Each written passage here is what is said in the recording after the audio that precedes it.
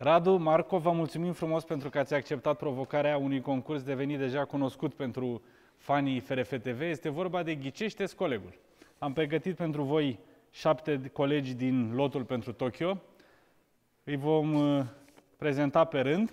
Practic vom prezenta câte trei indicii la fiecare dintre ei. În momentul în care sunteți sigur de colegul pe care îl intuiți, apăsați pe buton. Radu, tu râzi pentru că ai mai participat la concursul Am ăsta. mai greșit de câteva ori. Ai experiență, ai un avantaj în plus. Sunteți pregătiți? Da. Primul coleg este oltean și a jucat printre alte echipe la Juventus București. Este cel mai în vârstă jucător din lotul pentru Tokyo, Florin Ștefan? Florin Ștefan. 1-0 Marco. Ai început bine. Al doilea. Asta- Îl cheamă Mihai, l-a avut idol pe Adi Mutu, dar când era copil și a trebuit să aleagă între tricoul lui Rădoi și cel al lui Dică, l-a cumpărat pe cel al lui Rădoi.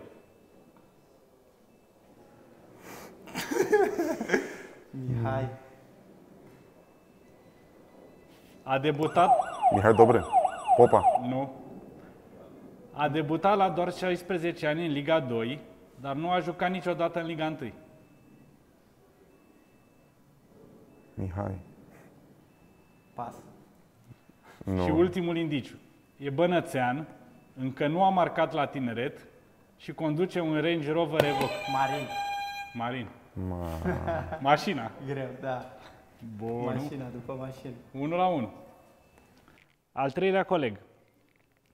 Din august anul trecut și până acum, i-a crescut de trei ori cota de piață pe Transfermarkt, deși într-un interviu mărturisea că era leneș pe când era la juniori. Al doilea indiciu. Deși e jucător cu profil defensiv, nu a luat cartonaj roșu la club în ultimul sezon. Eu. Da. Recunosc. Păi al doilea indiciu. 2-1 pentru Marco. Continuăm. Deși e foarte tânăr, a jucat deja pentru două echipe din străinătate.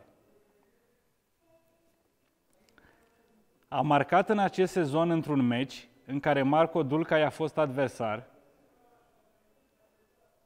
și a fost cu echipier la naționala Under 15 a României cu Radu Boboc împotriva Italiei.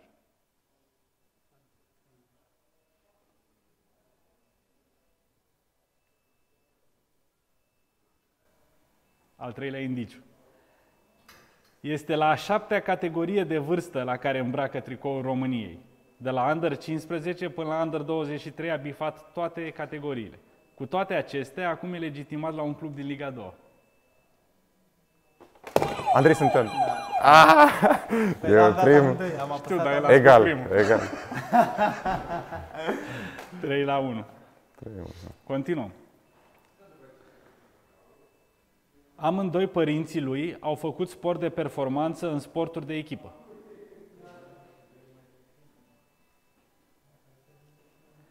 Poartă numele de Virgil și e primul jucător din orașul său care a devenit campion național la fotbal. Virgil Ghiță? Nu. Virgil. Al treilea indiciu. A jucat pentru trei echipe din copilărie până azi, inclusiv junioratul. Primele două s-au desfințat, iar a treia a fuzionat.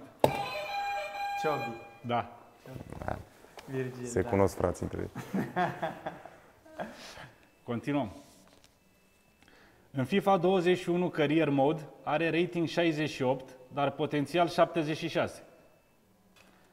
Ultimul gol marcat la club a fost în Liga 1 în noiembrie 2019. Își sărbătorește ziua și în aprilie și în decembrie. Eu sunt ăsta. Da. Nu mai greșesc a doua oară. 3-3. Nu mai greșesc. 3-3. Runda decisivă. Un fost coechipier a declarat despre el. Vede uneori niște culoare de pase pe care le observi doar din tribună sau din fața televizorului, nici de cum din teren. Seriozitatea și tehnica lovirii mingii sunt alte calități formidabile pe care le are. Îl cheamă Ionuț, e născut în februarie și a jucat la senior până acum doar pentru două echipe. Ion Gheorghe? Nu. Nu. Ionuț. Ion- Nu știu. Ultimul indiciu. A debutat deja pentru România la nivel de seniori și cea mai mare trăznaie din copilărie a fost să sară pe geam ca să facă baie în mare la 4 dimineața. Ionuț. Nu se cheamă Ionuț. Nu, eu nu știu.